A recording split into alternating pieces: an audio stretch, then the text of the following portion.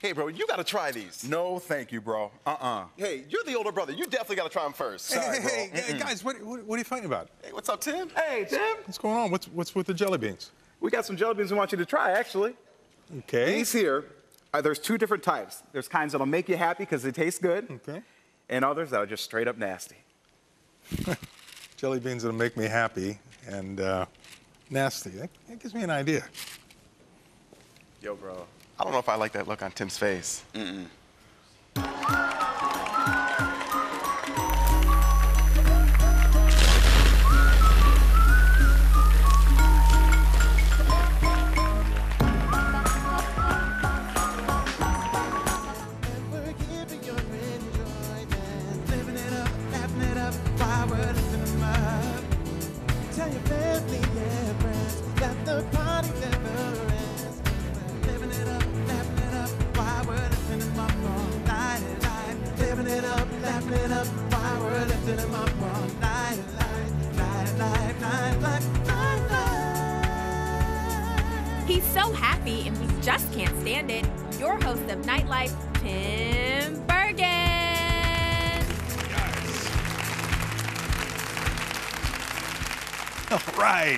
Ladies and gentlemen, Kirk and Kellen.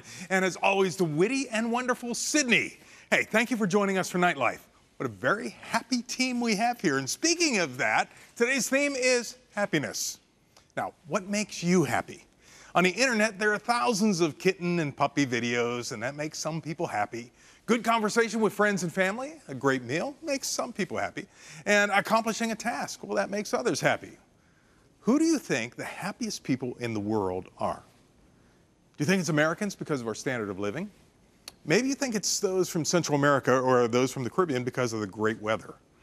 Europeans because of their long history and great architecture. Eastern Asians because of all their gadgets and technology. Well, if you guessed any of these, you'd be wrong. If you're living in Iceland, you're the happiest people on earth. Iceland, go figure. Now, you might think either it's the natural hot tubs or simply their brains are frozen from all the cold weather, but it's really neither. It seems that money, good weather, nor technology really are the keys to happiness. Psychologists studying Icelanders have found that it is primarily three things that makes them happy. They have a greater sense of community. No one's left to fail. If someone is in trouble, the whole community supports and encourages them until they get through it. They overcome stuff. They don't place blame, they accept responsibility, and they begin to work to overcome their struggles. And they have this stubborn optimism that they believe things will always get better. Well, ready to pack up and move to Iceland? Anyone? Guess not. Might be a nice place to visit, but I wouldn't want to live there. Listen, being happy for most psychologists is nothing more than spending a little bit of time every day doing something for others. On today's show, Kristi Watts is here to teach us to talk yourself happy. Is it possible? Well, Sydney will find out. Are you ready for another great show? Kurt and Kellen, I want you to take us out with a happy song, and then we'll be right back after this.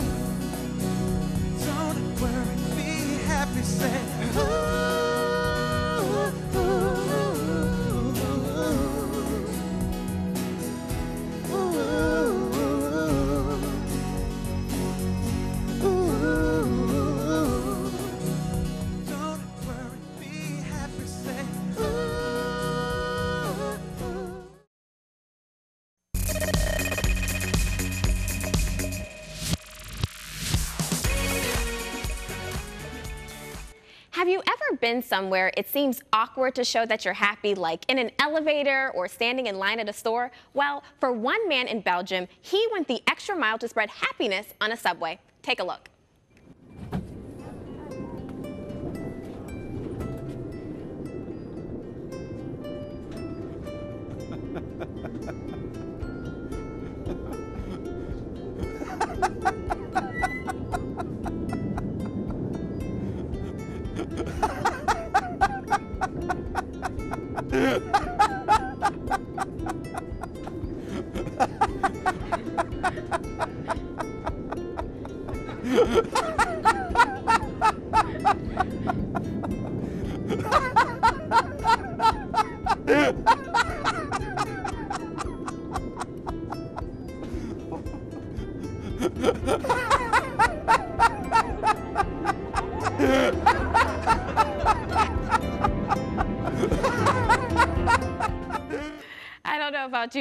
watching that, I can't really keep a straight face, and that all was part of a social experiment for a Coca-Cola commercial. So I couldn't help but laugh. It's hysterical. I mean, you can't, you literally can't help but laugh. You're, you're hearing him, hearing him there, and that is funny. That is very funny. Now, did you laugh the first time you saw it as you're seeing? Because this is the first time I saw it. I was cracking up. Yeah, I was laughing the whole like the whole time, like keeping a straight face, and I'm like, oh my gosh, laughing. But it really shows that laughter, you know, is contagious, and happiness really, you know, begins with a smile, and it makes you laugh. And Well, laughter does good like a medicine. And, and speaking of that, maybe maybe I can get you to laugh here. Why don't you come on over? Come on over. I, I got the twins over here, and we want to we want to play a game, and hopefully.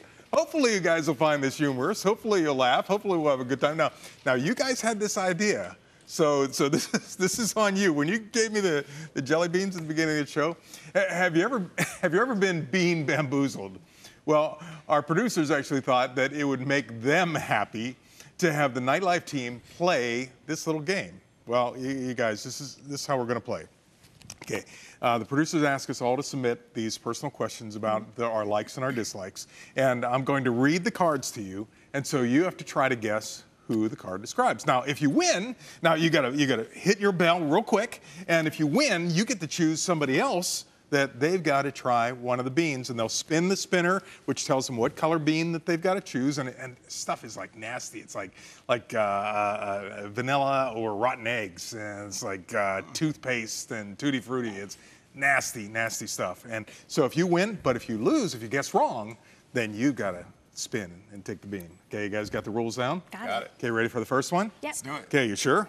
Okay, the likes are uh, WWE wrestling, techno dance music, and the dislike is raw onions. Who would that be? Kellen. You got it right. Woo-hoo. Woo-hoo. Okay, who who gets to take the nasty bean? Which, Helen. Woohoo! All right, spin, buddy, spin. See what see which color we're going for here. Okay, what are our choices? The choice is coconut or spoiled milk. Okay, you know, go ahead, go ahead, man. And we've got we have if it's too bad, you can spit it out in the cup. But which did you get? I got coconut. Okay, okay, m- moving right along. praise. Just give it praise.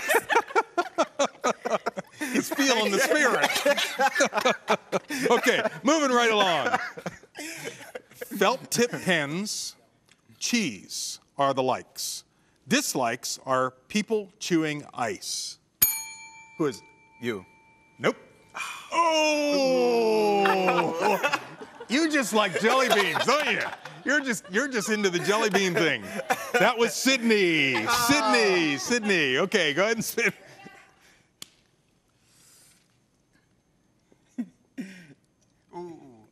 Let's see. I'm, it's chocolate pudding or canned dog food. Ooh, so it's a dark brown one. Yeehaw. uh, drum roll, please. He's praying for the The chocolate breakfast pudding. of champions. ah. Here, here, brother. Here I go. I'm gonna take it like a man. Okay. Woo! Yeehaw. Okay, next one. Moving right along before before the gag reflex kicks in. Okay, likes Netflix and pizza. Dislikes slow drivers on the parkway. Kirk. It is. Woo! Kirk, got to spin, buddy. Oh. Uh, peach or barf? Oh, ah. oh, Lord. Nasty, nasty, nasty. What'd you get?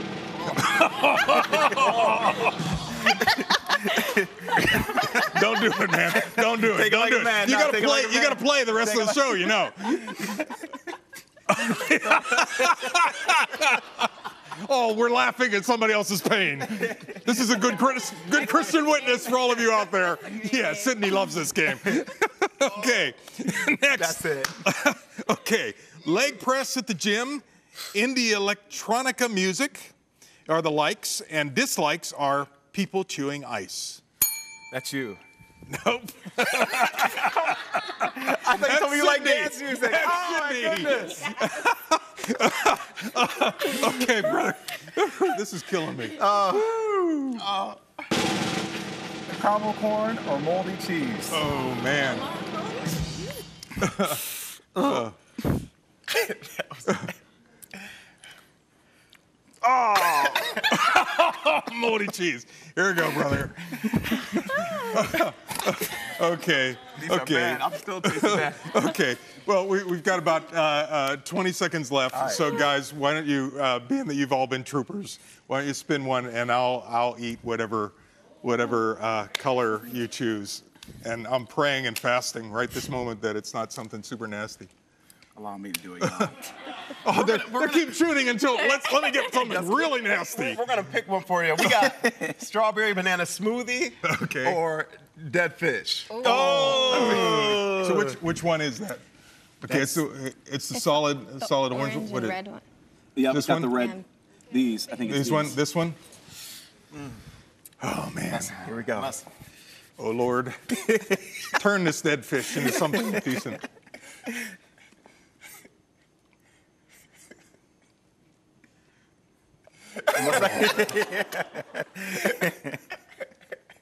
While we try here to take a look, while, while we, take a look at this.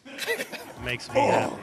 Probably to see other people happy. I mean, when I wake up in the morning, if everybody's living their life to the fullest and enjoying um, the moment each day, 'cause life's precious, it's short, and we have to enjoy it, and that everybody gives back.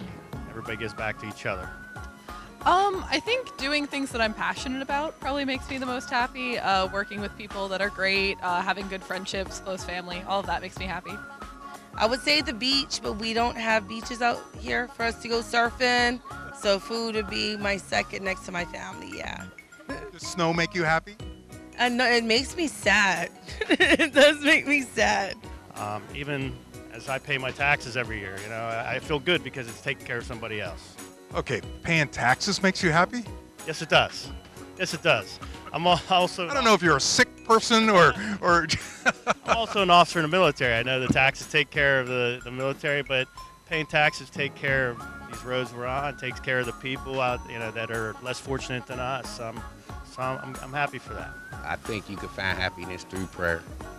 If you pray all, like anything that's bothering you, if you pray on it enough, then it can make you happy. Because you'll be nine times out of ten, if you pray hard enough, you'll get the results that you're asking for in your prayers.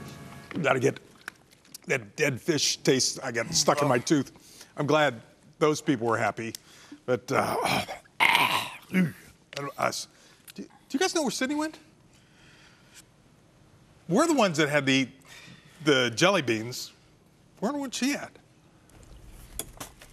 Hey everyone, I know I should be really focusing on nightlife right now, but I can't. Kristi Watts is in the building. You know, talk yourself happy. I gotta go. I gotta give her this gift bag. I really gotta go. Kristi, hi. I'm so glad I got to catch you before you go. Hi, how are you? I'm Good. Sydney. Oh, Hello. Sydney, it's wonderful to meet you. Nice to meet you too. Can I talk to you for a couple Of couple Of course, of course. I'm just waiting on my ride. Awesome. You are such a phenomenal woman of God. I really, really look up to you. So I appreciate just having the time to like sit and talk to you for a Oh my goodness, how sweet are you, girl? Go. What do you want?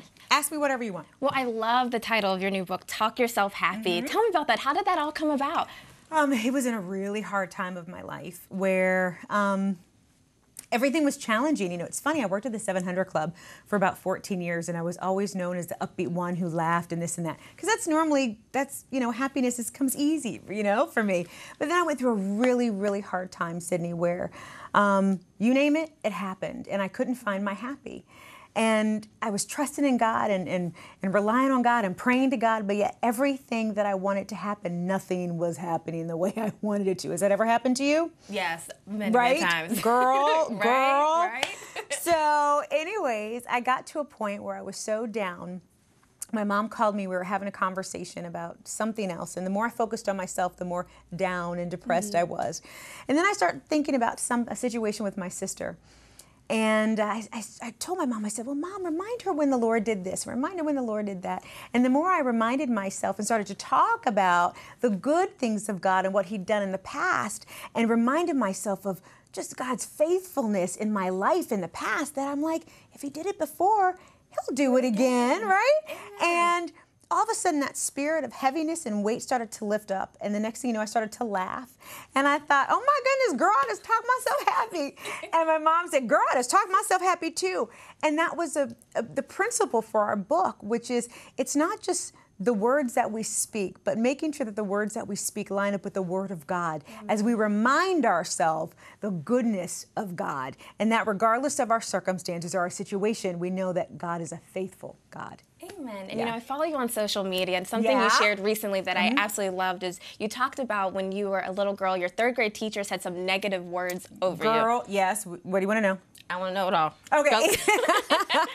well, in that particular moment, I just posted the fact that I'd, I'd, I'd written my first book, and which is huge because I thought, man, God, you are so awesome. And it took me back to the time when I was in third grade.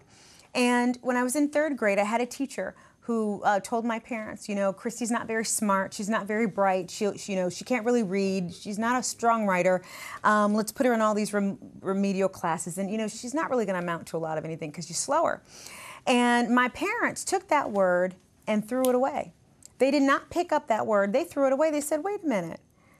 I'm not going to take the word of this woman. I'm going to take the word of the Lord, who He's created her to be. And so they spoke life into me and encouraged me and said, You are more than a conqueror. You are fearfully and wonderfully made. Kristi, you are the head and not the tail. You have a wonderful plan and purpose for your life. And as parents, we're going to help you walk out that plan and purpose. And what was so neat is not that they had to, but they had me tested. And Sydney, can I tell you something cool? What happened? Look, this is in third grade. And in third grade, they tested me, and I tested at a sixth grade level. And the truth of the matter was, I was not, you know, dumb or slow or those words that they had tried to speak into my life. Mm. I was bored. I'm like, challenge me. I was bored. So, what was the lesson? The lesson that I learned is that we cannot take hold of every word that comes our way because every word is, is fickle because people are fickle. There's only one word that we got to hold on to, and that's the Word of God because that Word of God is truth and life. So, Amen. yeah. That's so powerful because I Mhm. feel like a lot of times, like you know, as a kid, like people can speak a lot of things over, but it's just so amazing to see where you are now. Is that you didn't take that in and you showed that teacher. Right, because here's the truth. The truth is we really do have to know who we are in Christ. Because the world will tell us one day we're too fat, we're too thin, we're too short, we're too tall, we're too dumb, we're too this, we're too that. Well, good Lord, what are we? You know, that's why we have to know who we are in Christ and that our identity is in Christ. And that's the whole concept of talking yourself happy, knowing the truth of God's word and being happy in it. That's so awesome. And what would you say, like, to encourage someone, you know, who's in a transitional time, how Mhm. to talk themselves happy? It really isn't about your circumstances, but allowing God to work on your heart in the midst of your circumstances. And just, you know, we in the in in the church we we throw out these lines all the time. God is faithful. Just trust in God. But the truth of the matter is, do we know what faithfulness means? Do we know that faithfulness means that that God is reliable and he's dependable, that he's steadfast, that he's unwavering, that if he said it, then he'll do it.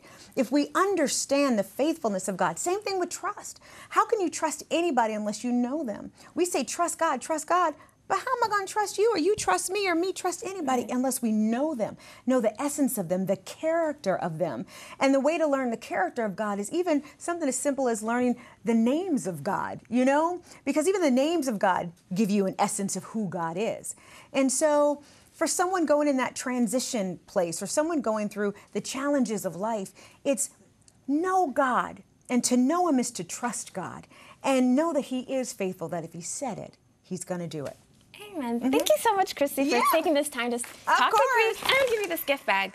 You gave me a yes! Girl, you just made me happy. And look, let me say this. It doesn't matter what it is, the, the thought that you cared for me enough, to love me enough, to think of me just made me happy. Hug me, girl. love you. Love you. Thank you, Sydney. Yes. Whew. Guys, I'm still fighting that nasty taste. It smells Kind of, I, oh, it's almost like I smell it. Have you guys seen Sydney? She's still not around. Hey, Hi, hi, hi. where have you been? Sorry, we got a show to do. This I'm is sorry, live. I'm sorry. I'm really sorry, Tim. Okay, what was what was up? I was talking to Kristi. I had to give her a gift bag. Oh. Kind of had to, had to go. Sorry. Cool, cool. What were you talking to her about? We're talking about happiness and transitioning into happiness and all those good things. Cool. Yeah. Well, that sounds like we need it after those jelly beans. Holy smoke. Hey, you guys ready for the news of the day? You guys got a special news of the day for us? Here's Kirk and Kellen with the news of the day.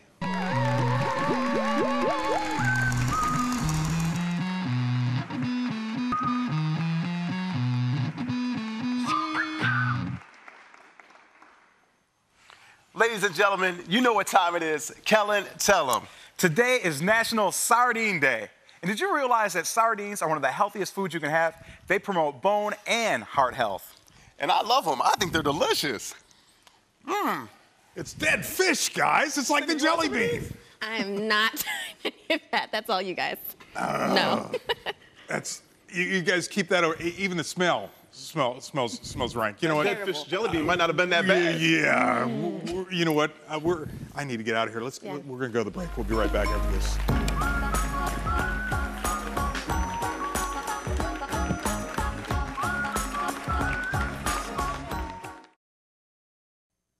These are absolutely nasty, but one member of our team didn't have the opportunity that the rest of us had to be happy, I guess. So, uh, guys, I need to get Sydney. Sydney, why don't you come on over? I, I need Sydney to choose one of these. So, what, what color should she do? The green spotted one. Green spotted one. Woohoo! You know what that is? That's that's either uh, a juicy pear or a juicy booger. This one, here we that go. That one, there we go. Help let's see, Jesus. let's see. Is she going to be happy or miserable? Pear. Pear. Ah, some people's kids. Some people's kids. Well, I'm happy for you. The rest of us might not be happy, but I'm happy for you. Well, as you can see from the show, happiness is a choice. Those Icelanders live in a very cold place most of the year, but they're the happiest people on earth. By the way, the U.S. ranks 16th. The Icelanders are happy for really biblical reasons. Let's take a quick look again. They have a great sense of community, and no one is left to fail. And if someone is in trouble, the whole community supports them and encourages them until they get through it. Well, it sounds an awful lot like something the Apostle Paul talked about when he said that we were the body of Christ. And if one part hurts, we all hurt. Said they also they overcome stuff. They don't place blame, they accept responsibility, and they begin to work to overcome their struggles.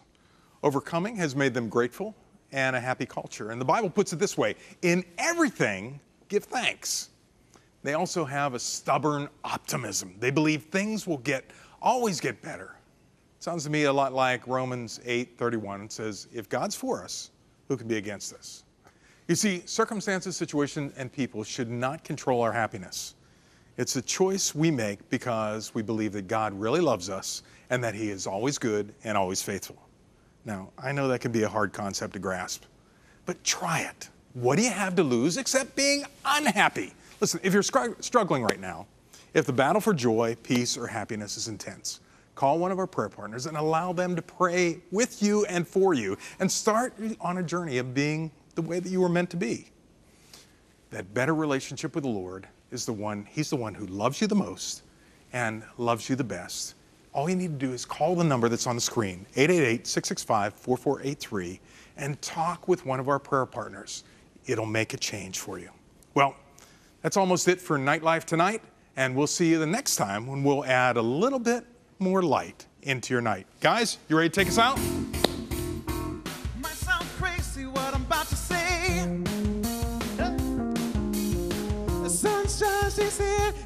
Take a break. Cause I'm a hot air balloon, I could go to space. With the air, like I don't care, baby, by the way.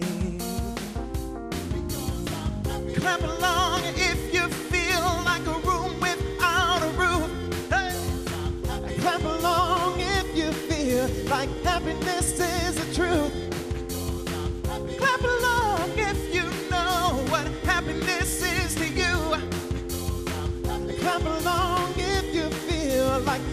what you wanna do.